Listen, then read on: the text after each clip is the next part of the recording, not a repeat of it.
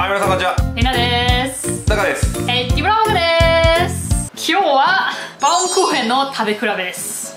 大量に買ってきましたね バームクーヘン。もう昨日すごい楽しかったよ。そんな売ってますか？逆に日本にバームクーヘン。そうだよ。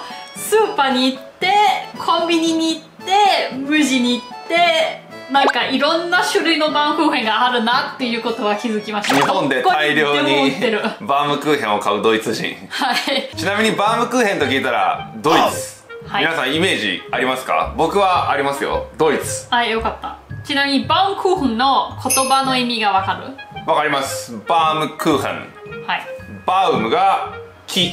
はい。クーヘンはクッキーお菓子。え？何だったっけ？ケーキ。ケーキ。だから木のケーキ、はい。でバームクーヘン。でなんで？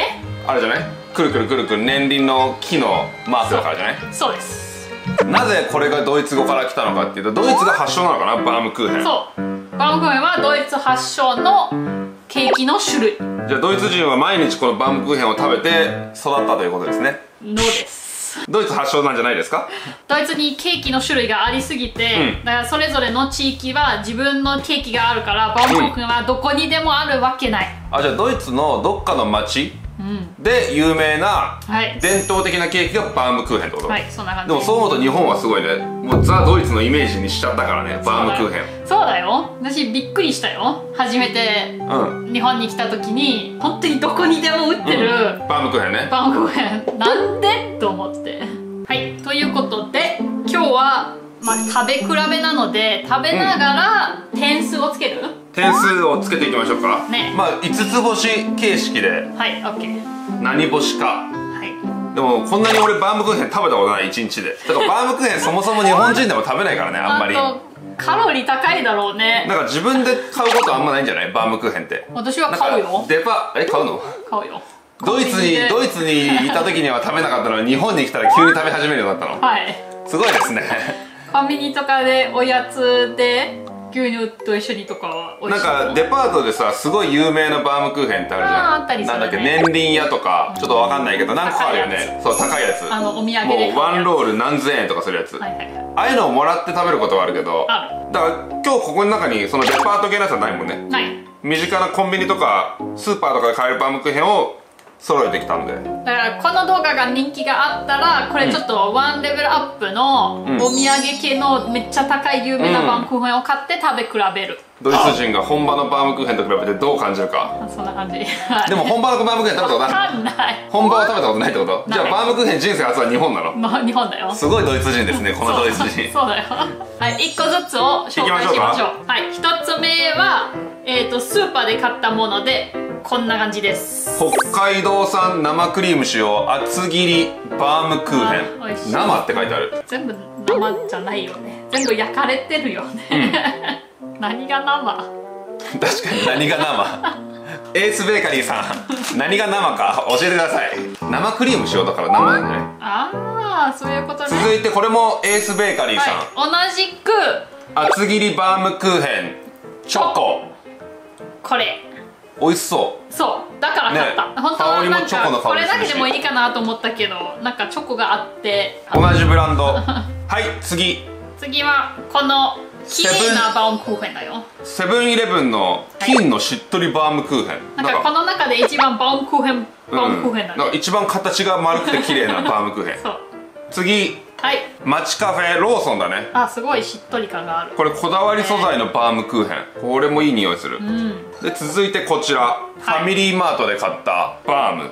こだわりしっとりバームクーヘン。なんかこうなってるからめっちゃでかいってこと、そうじゃない？これぐらいの大きなやつをスパスパスパスパスパッと切って。自分自分当てたね。アホなやつだね。はい。はい、続いて無印。なんか無印すごかったよ、10種類ぐらいはあるよで3つをピックアップしてこれはメロン。メロンバウム。こちらがバナナ。バナナバウム。でこっちがまあ抹茶バウム。抹茶だね。とということでね無印大量にバームクーヘン売ってましたけど3種類はい。ピックアップしました、あと切り方もまたなんか全然違います書いてある。不揃いって書いてある。もんバームだからこれもさ要はこういうこれぐらいでねでこれぐらいのぶっといやつを。じゃあ食べていきましょうか。こっちからスタート生バウムまず。あとこれバームクーヘンこんだけいっぱい食ったらさ口の中パサパサになるんじゃない？大丈夫？あのミルクは用意しました。いただきます。生バウムエースベーカリーさん。うーん。うん。おいししっとり。いね。うん。うん。甘すぎないし。うん。生クリームがこうしっとりと感じられるね。タカがこれ読んでる。こと 言い返したよわかりました。思いまし生クリーム感じます私。た、で全部全部食べると1000キロカロリーぐらいはあるよ。大丈夫大丈夫。点数はまずつける？うん。なんかあんまりフレームがないから。確かにこれ1なんだろう。個目だからね。でもなんか普通に美味しいよしっとりしてて。あ青。なんか嫌なパサパサ感とか全くないしね。生クリームの味強いしね。あ4点、ね4点。4.5点4点。レナさん4.5点はい。これが基準になって4.5点大丈夫？基準4.5点そんなダメですけど大丈夫こういう人いるよね。最初から暴走しちゃうタイプ。次で厚切りバームチョコ。なんかよりパサパサ感があるめっちゃチョコの香りする。うん食べてから意味ないでしょ。私も気づいた。だからさっきのなタカの生クリームの言ってたのが合ってたよ、うん。さっきのより口の水分持ってかれるね。ね。なんかチョコが大好きだからチョコ選んだけど。ちょっと飲み物。欲しくなってきますねだからさっきと比べたらこっちはより想像してたバームクーヘンって感じ？あのちょっとパサッとした感じの。本当？でチョコの香りはするけど、味はね口の中に入れるとあんまりチョコの風味は広がんないね、うんそう。私にはこれが不合格。なんか3点2.5点急にさっき4.5点で 急に2.5点そう。半端じゃないよ。なんで？俺3点。本当？だってまだ分かんないじゃん。これは4でこれが3そんな味が近くてなんかいやあるから。3.13.23.3があるから。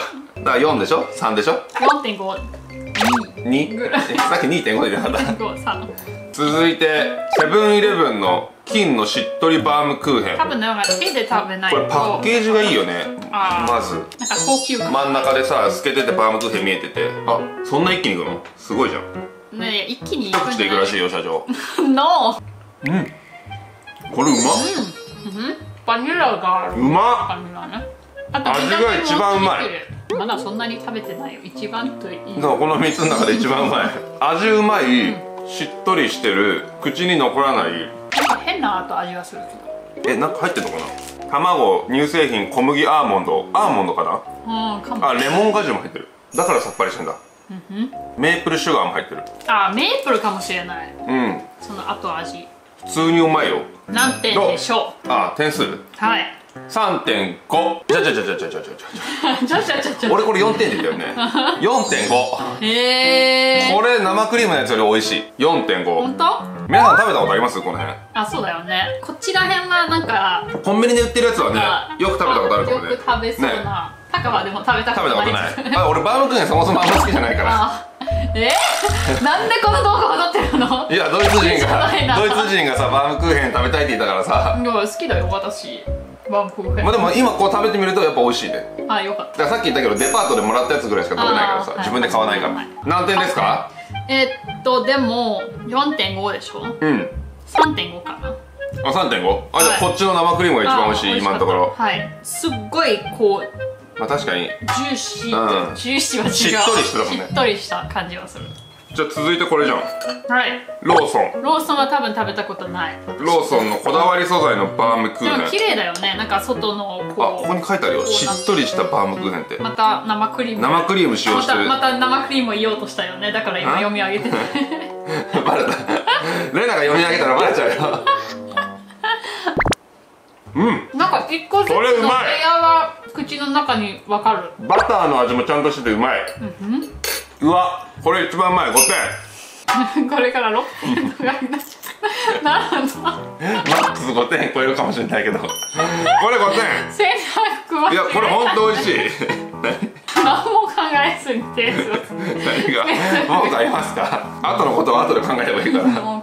今これめちゃくちゃ美味しい。これは、うん、これより美味しいけどこれほどじゃないから4点。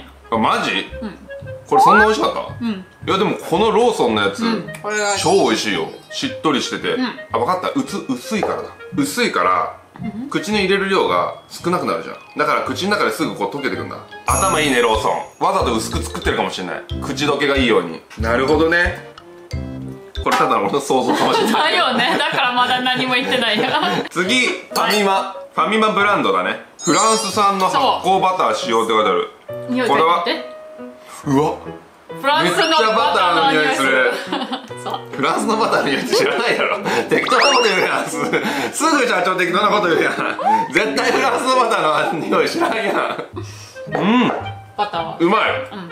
味はトップクラスにうまい。うん。バターの味がするね。うん。迷うねこれ。もう5点あ味は一番うまいけどやっぱりさっきのこの口どけの良さ。4.5点ファミマバームクーヘン4.5点でも味は本当にバターがどんどん難しくうまい。今のところレナこれが一番好きだからね。うん。これもでも4.5点でも似てると思うこのこれとさっき一番最初に食べたエースフードとファミマ。はい。バター感が強い。ここからが無印。無印。これもなんか美味しそうじゃない？普通に。そう？匂いすごいよ。色やばくない？匂いもう夕張メロンあーやば。いやメロンの匂いするよ。これは好きじゃないかもしれないこの夕張メロンの色じゃない？このオレンジ。そう。ね。これさミルクにディップしたらうまいんじゃない？ドイツの食べ方？ツボンツボン。とうん本当にメロンだね。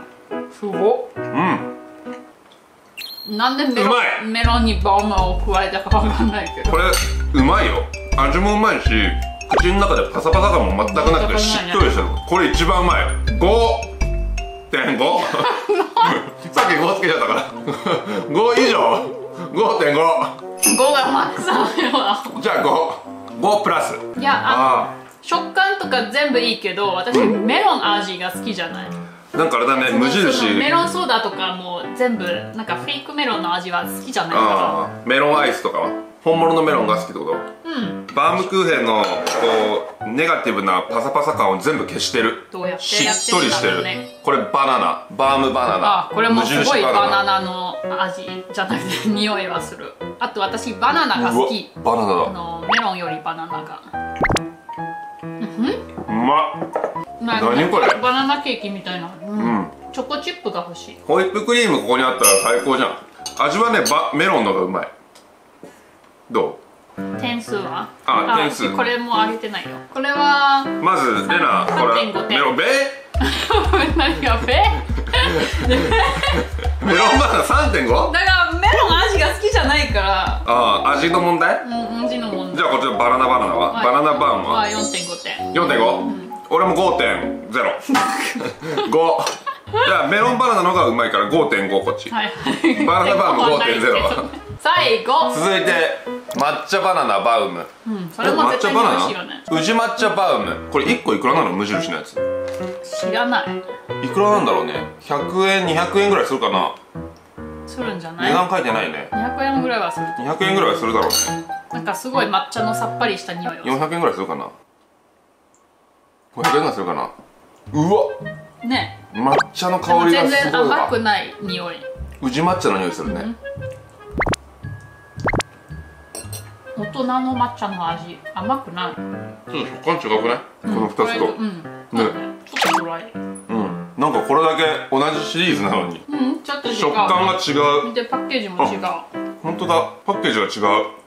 甘さは控えてて抹茶の苦みがちょっとあってちょっとパサッとしてる。何点ですか？抹茶バウム。3.5点一緒。3.5点。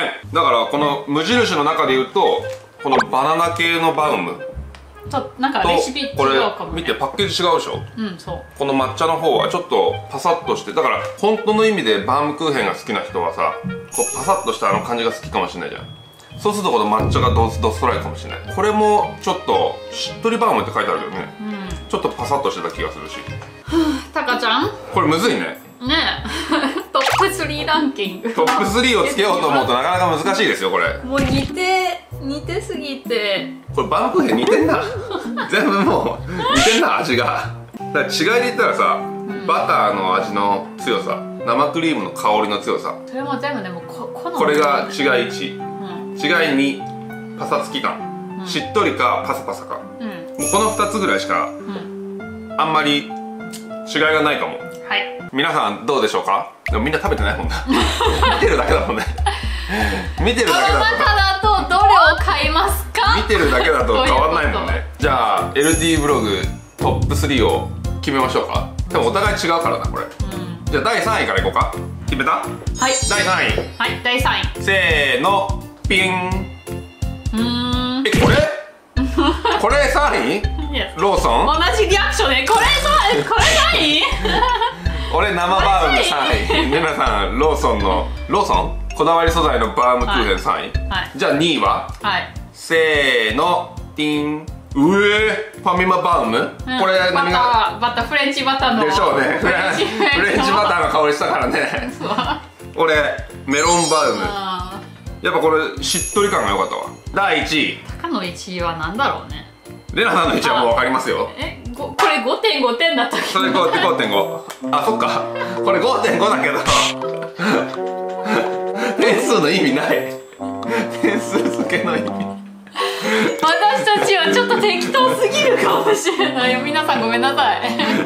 これ5.5で一番絶対かったので2位にしました。はい第1位の発表、はせーのティーン。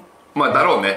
生バームいくかなと思ったよ、うで俺はさっきレナが3位にランク付けした、うん。こだわり素材のバームクーヘン。うん。だどっちかというとスーパーのやつと、ん。あとはローソンファミマと無印が結構いいという感じで、なんかそれの結論でセブンイレブンがちょっと負けたって感じ。あコンビニの中で言ったらね、確かにコンビニのセブンイレブンローソンファミマで言ったら俺ローソン1位でしょ。うん。レナローソンが3位、うん。ファミマも入れたら2位、だからセブンイレブンだけちょっと僕らのなんか見た目が一番良かったけどな確かに。パッケージは1位かもしれないね。うまうまそうだこれも。綺麗な丸だったしね。綺麗な丸。まあでもこれ個人差ありますからね。ぼねただ僕らの好みに合わなかったってだけで。で無印も美味しかったでしょ？これどこだったっけ？あこれスーパーか、スーパーの生バームもうまかったし。いうんうん。やこれが一番うまいわ。でももう結構カロリーは食べたよ今。うーん。これ1個372キロカロリーだよ結構うーん順位訂正します。こっち1位。こっち2位。やっぱ5.5点のやつがうまいわ。それでは皆さんこの1234567種類の中のバウムクーヘンどれを買いますか？なんか好きなバウムクーヘンとかありましたらそれもコメント欄で教えてください。そうだね。今ここで買ってないバームクーヘンだけど視聴者の皆さんのおすすめのバームクーヘンとかあったらね。知りたいよね。だってバームクーヘン大好きでしょ？日本のそう。また次の動画も作れる。はい。はい。はい。はい。はい。はい。はい。はい。ということでこの動画はここで終わりにします。楽しかったならぜひいいねボタンを押してください。チャンネル登録もよろしくお願いします。それではまた次の動画でも会いましょう。バイバーイ。バイバーイ